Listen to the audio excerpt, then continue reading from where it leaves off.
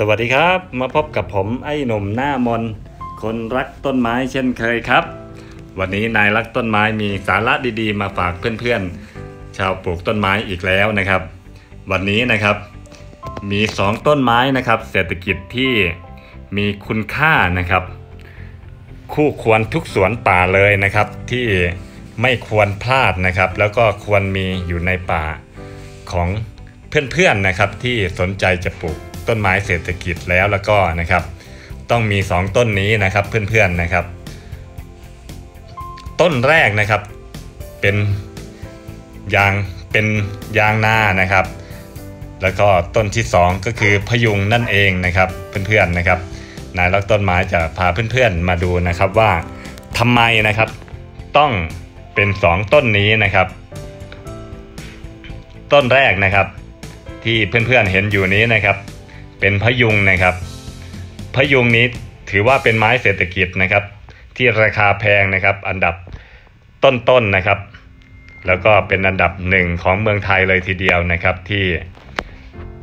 ทุกคนปลูกได้นะครับ แล้วก็ทางรัฐบาลก็ปลดล็อกแล้วนะครับเพื่อนๆนะครับ แล้วก็ควรที่จะมีอยู่ในสวนป่าของท่านนะครับ เพราะว่านะครับหนึ่งเลยนะครับพยุงนะครับ ซื้อง่ายขายคล่องนะครับ ปลูกง่ายแล้วก็โตเร็วนะครับ แต่ก็ต้องมีระยะเวลานะครับของพยุงแหละครับว่าต้องมีระยะเวลา 10 กว่าปีขึ้นไปนะครับ แล้วก็ 20 ปีเนี่ยนะครับถึงจะขายได้นะครับ แล้วก็ควรที่จะหามาปลูกนะครับ เพื่อนๆนะครับ ดูแลง่ายมาก ๆนะครับ อย่างของนายรักต้นไม้ที่ปลูกไว้ ที่สวนป่านะครับ ไม่ว่าจะเป็นสวนป่าข้างบ้านนะครับ ที่เห็นอยู่นี้นะครับ แล้วก็สวนป่าแปลงใหญ่นะครับ ปลูกง่ายเลยทีเดียวนะครับ แล้วก็ไม่ต้องดูแลอะไรมากมายนะครับ อยู่ในเขตภาคอีสานนะครับ หรือว่าภาคอื่นๆของประเทศไทยนะครับจเจริญเติบโตได้ดีนะครับ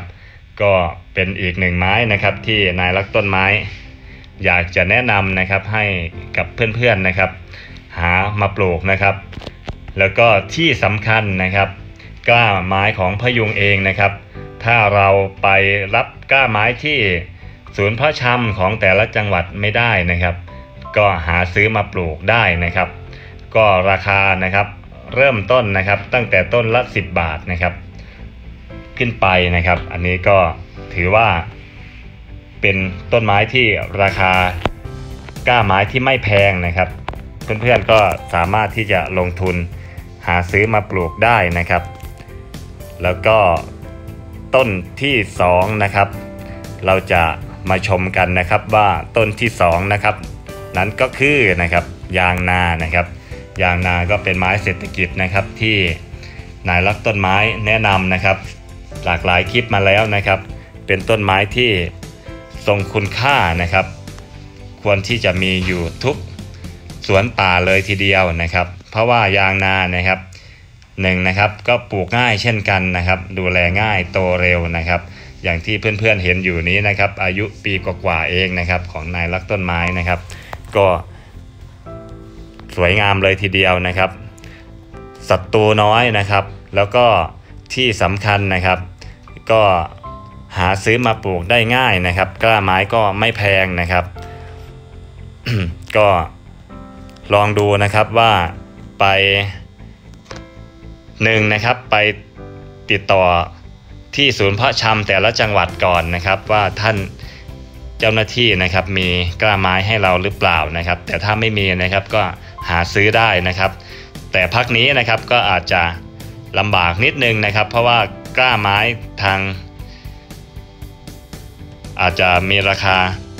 สูงขึ้นมานิดนึงนะครับ ก็สอบถามดูหลาย ๆ ร้านดูนะครับเพื่อนๆนะครับ เพราะว่า